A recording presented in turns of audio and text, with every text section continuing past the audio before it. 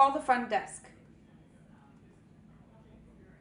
Calling front desk. Alexa is coming to your hotel room.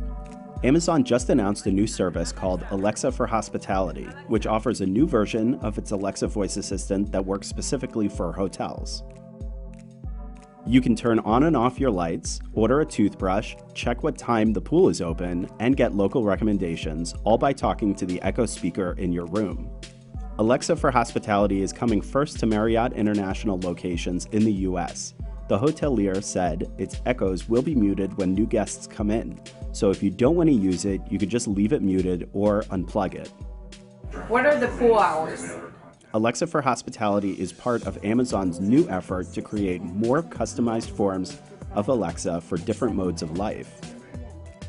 Another example is the kids version of Alexa for its Echo Dot Kids edition, which came out last month.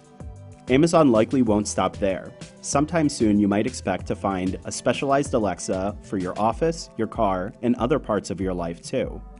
Okay, to confirm you would like one toothbrush sent to your room. Is that correct? Yes. Great. Your toothbrush will be sent to your room as soon as possible.